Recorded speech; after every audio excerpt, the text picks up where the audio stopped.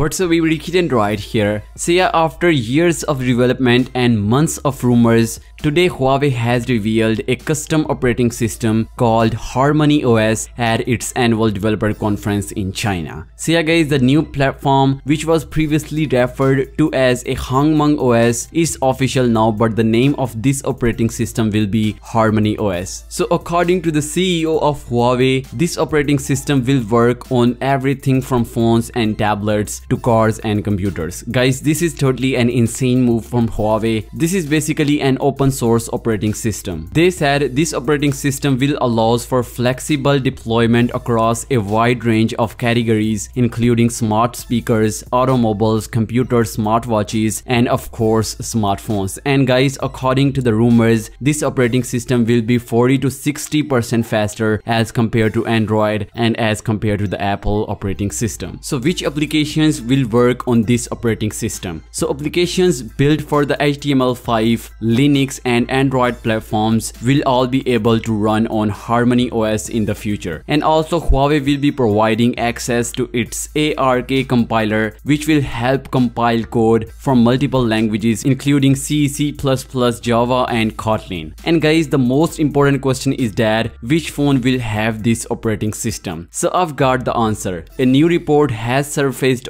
online which claims that the upcoming Huawei Mate 30 Lite will be the first smartphone to run the company's in-house developed Hongmeng OS. The report claims that the international variants will be running on Android Q and EMUI 10. The Chinese variant on the other hand will be powered by this operating system. Huawei CEO also claimed that if at any point if they cannot use Android in the future, the Chinese giant will not hesitate to immediately switch to Harmony OS. It's unclear if the company would receive access to Google's services in the future, but now they don't care because their own operating system is now official. So yeah guys, what's your thoughts on this massive news? Let me know your thoughts on that in the comments down below and yeah, I'll catch you tomorrow.